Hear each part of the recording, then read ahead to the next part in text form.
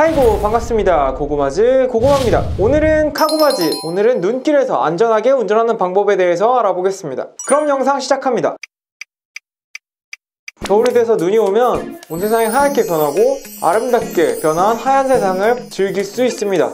춥지만 아름다운 겨울의 풍경을 즐길 수도 있지만 어찌됐든 자동차로 눈길을 운전할 일이 생깁니다 겨울철에 자동차 사고 발생 비율은 매우 높습니다. 눈 때문일 수도 있고 나쁜 도로 사정 때문일 수도 있습니다. 전통적으로 확인해왔던 브레이크 확인, 배기 시스템 확인, 와이퍼 확인, 연료 충만 같은 얘기가 아니라 겨울철 눈길이나 빙판길에서 운전하기 전에 반드시 알아야 할 10가지 내용에 대해서 알아보도록 하겠습니다. 첫 번째는 집에 머무는 것입니다. 자동차 사고를 피하는 가장 확실한 방법은 운전을 하지 않는 것입니다.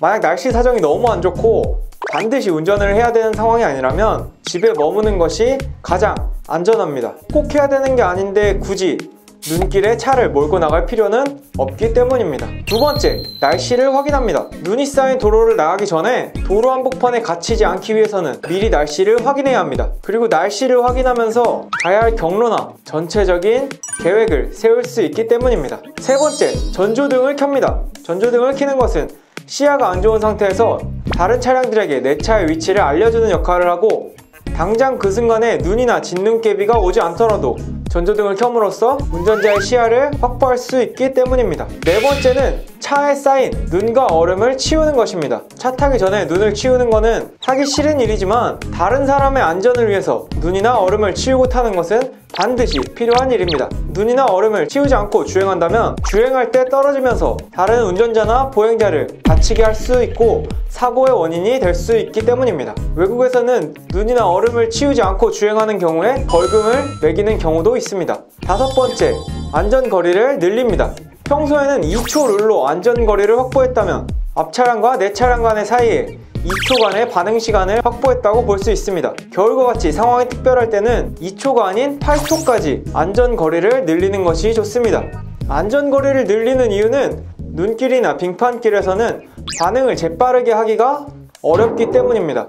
급브레이크를 밟는 행동은 차량의 접지를 잃고 미끄러져서 결국 사고를 일으킬 수 있습니다.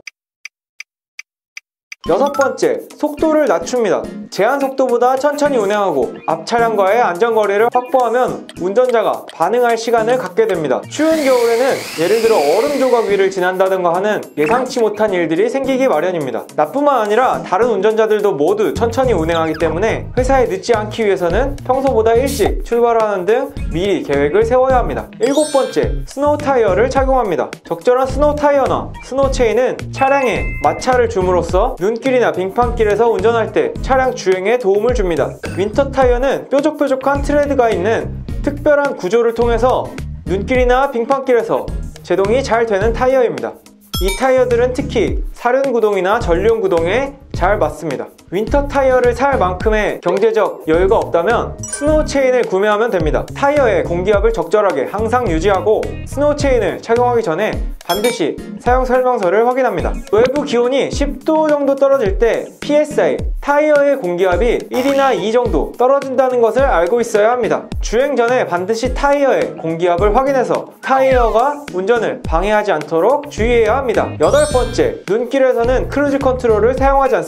운전을 할 때는 눈이 오지 않더라도 항상 주의를 집중하는 것이 중요합니다. 정속 주행 기능을 사용하면 운전자의 주의를 분산시키고 반응 속도를 낮춰서 사고의 위험이 올라갑니다. 아홉 번째, 미끄러질 때는 브레이크를 밟지 않습니다.